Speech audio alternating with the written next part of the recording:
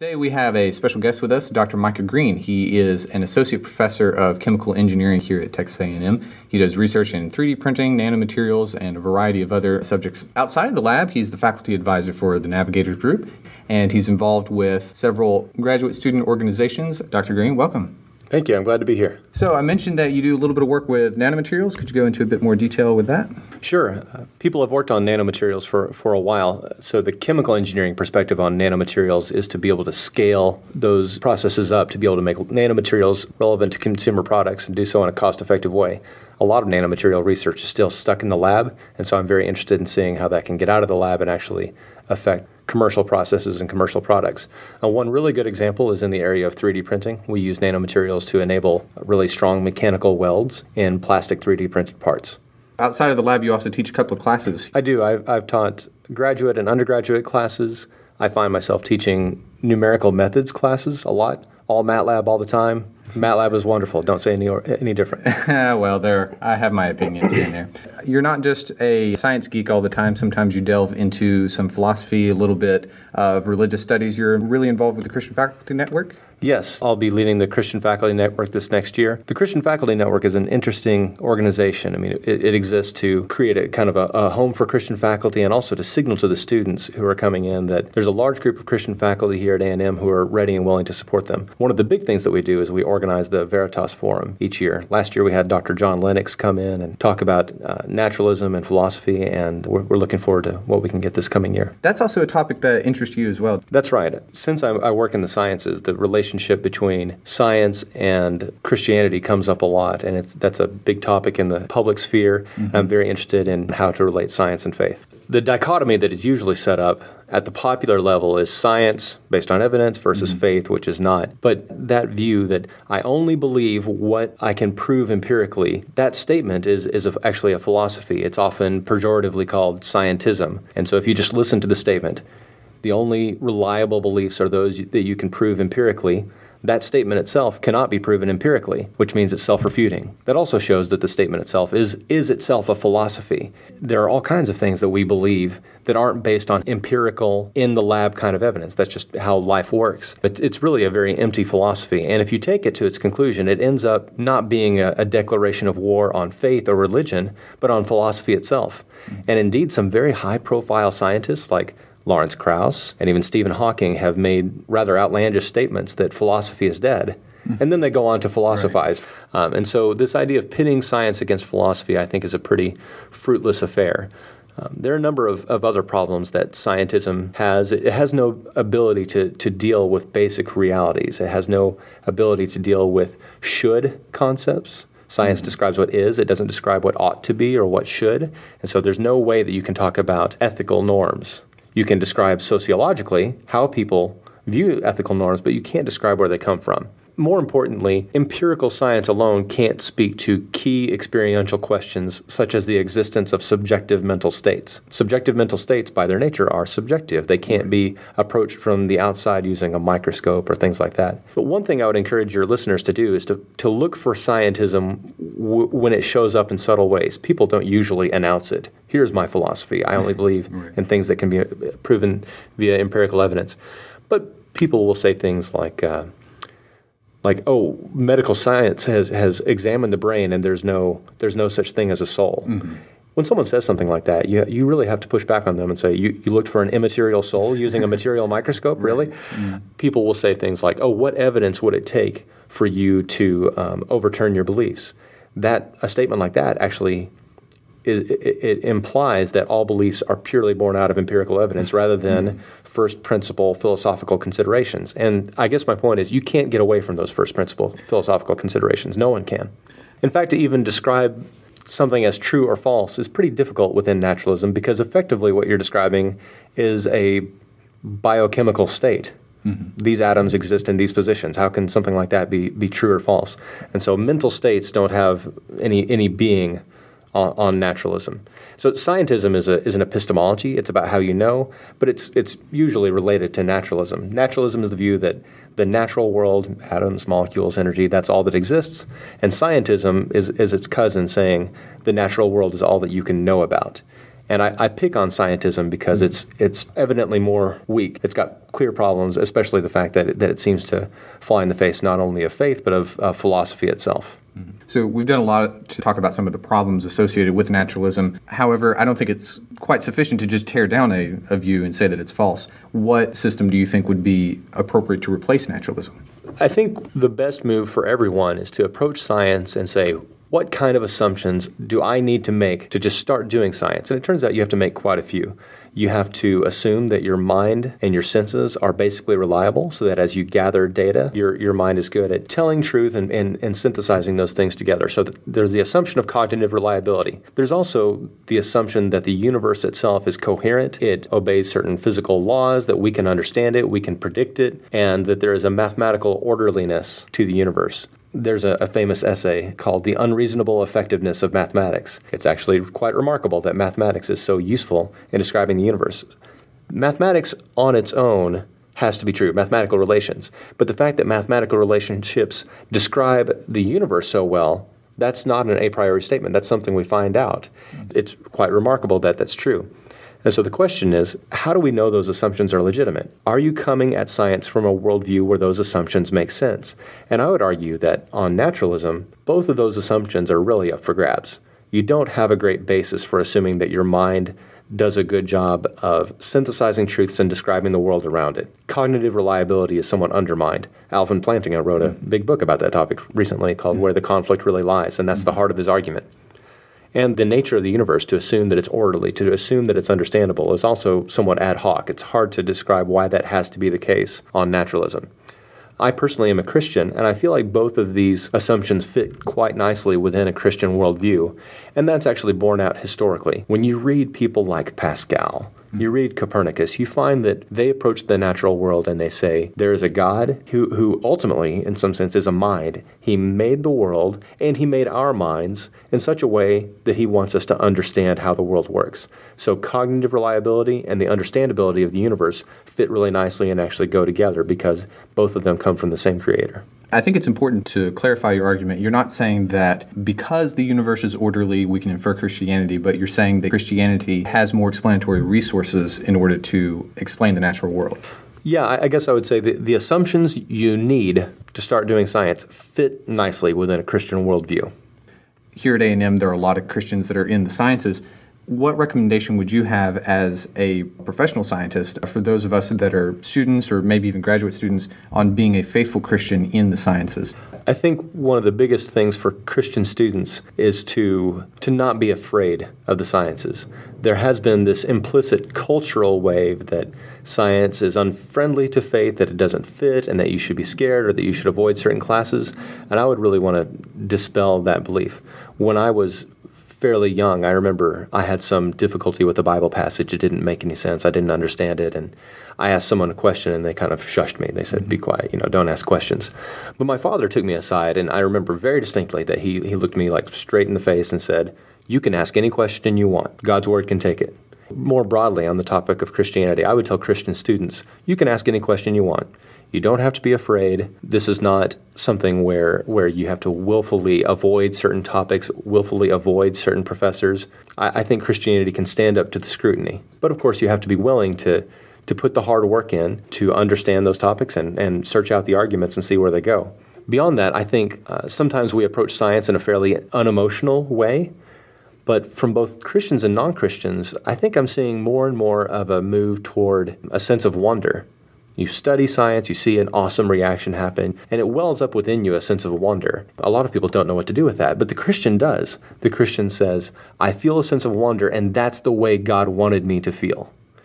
When I see the way that atoms interact with each other, how molecules are formed, I'm seeing the building blocks of the universe and the way that God put them together. And so I think that sense of wonder fits nicely within the Christian worldview. It's an opportunity to worship, and it shows that Christians who are in the science are not wasting their time. Sometimes people think that. They think, yeah. oh, I'm wasting my time if I'm not studying theology. You can glorify God and, and accomplish great things within the sciences.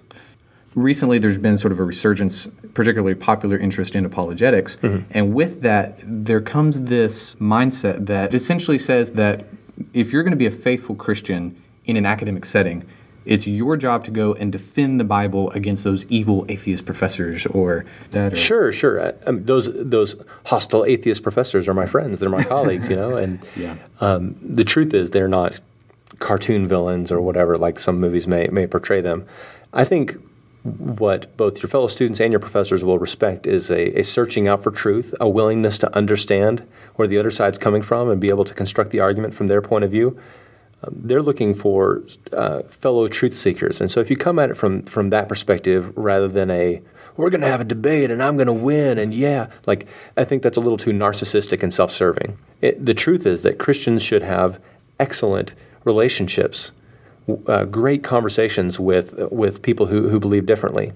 The real enemy, I think, for Christians in academia is not disagreements and arguments and difficulties with people or professors who believe differently than you do.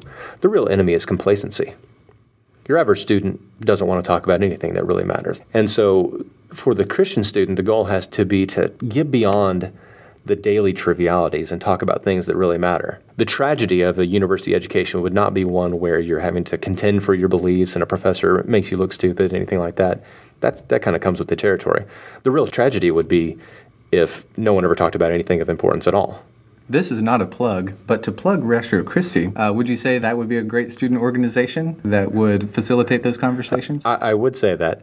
I especially like the fact that at, Ratio Christi, it's not emotionally charged. Like mm-hmm. people come and we discuss. It allows people to look at these different ways of, of seeing a particular issue or in a in a setting where everyone really has the same goal of trying to understand their arguments better, understand what they believe and why. I mentioned on your CV uh, earlier that you're a professor of chemical engineering. What I didn't mention is that you actually went to Harvard at one point. Yes, this is true. I got my PhD at MIT, which is in Cambridge, Massachusetts, and oddly enough, you have two of these giants of American academia just down the street from each other, Harvard and MIT.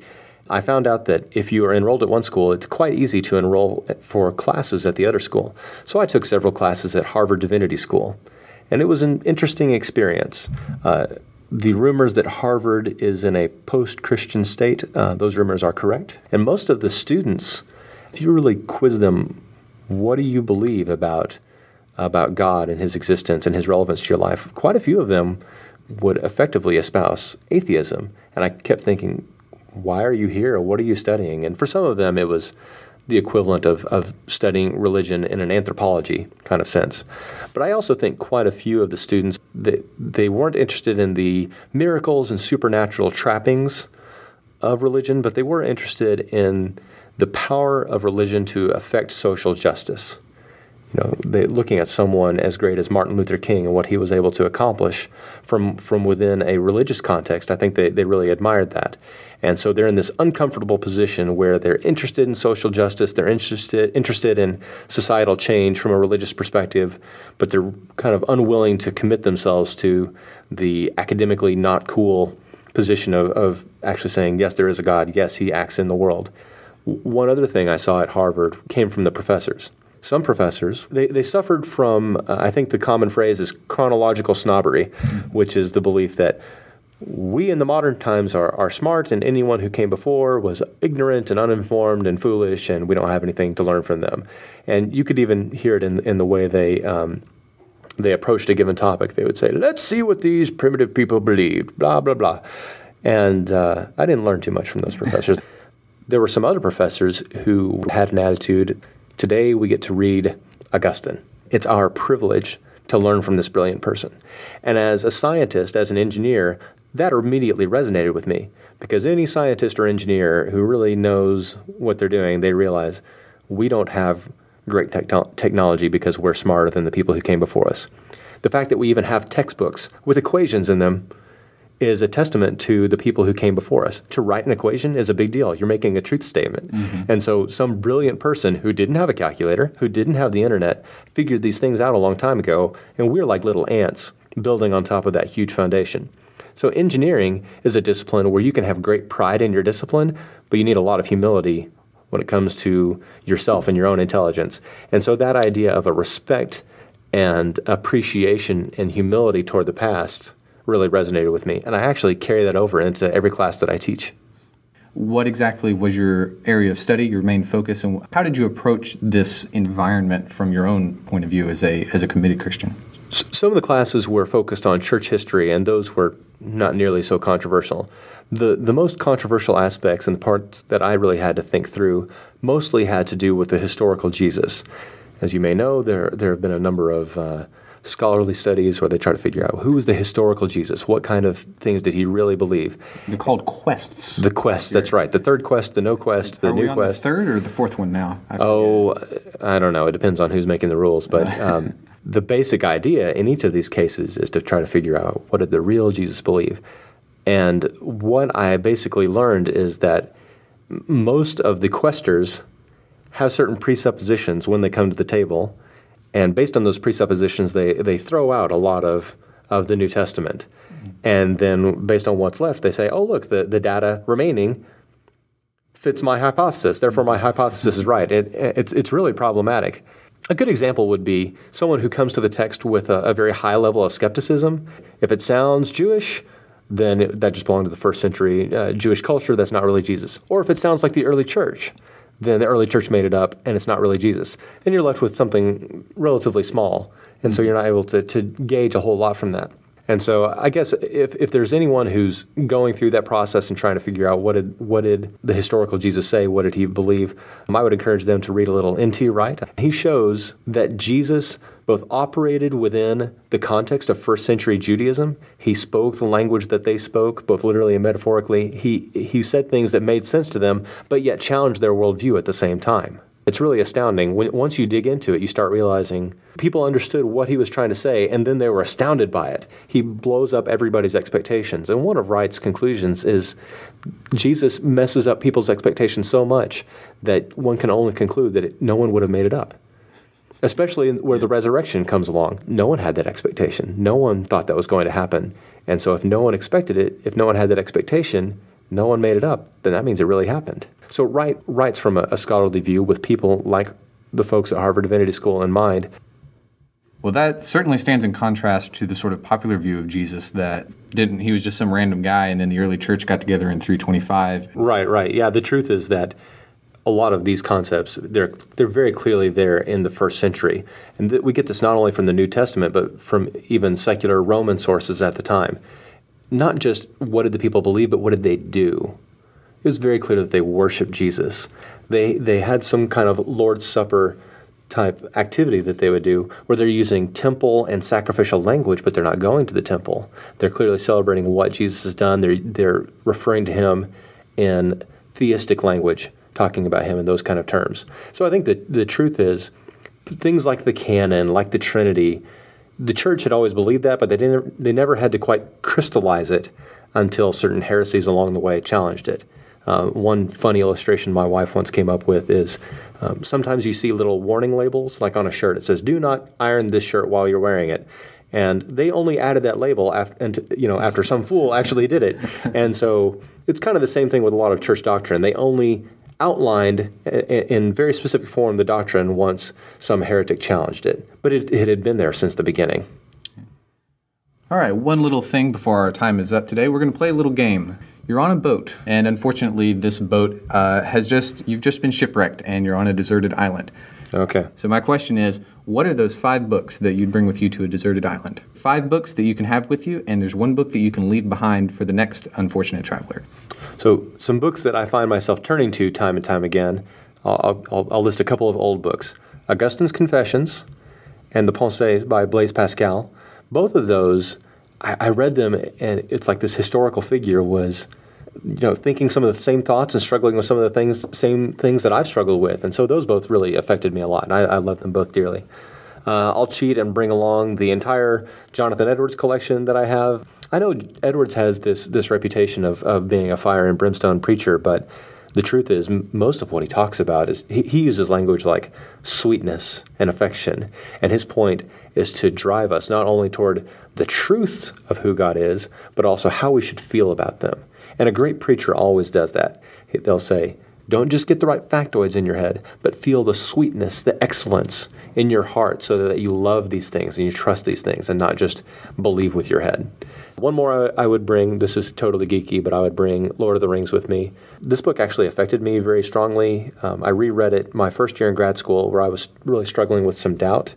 Um, I, I, had struggled with what if the skeptics are right and what if you cease to exist after you die and you know those kind of questions. And uh, rereading Lord of the Rings made me realize um, the world we see is full of creativity and beauty and high stakes, and it's not the boring gray drabness and boringness that we would expect on naturalism. And so it really kind of brought me out of the existential funk that I was in. And then for fun, I'll, I'll bring the, the full Calvin and Hobbes treasury just because it always makes me laugh. One last part of this game it looks like a rescue ship has come across the sea. You get to leave one book behind for the next unfortunate traveler. Which book do you leave behind?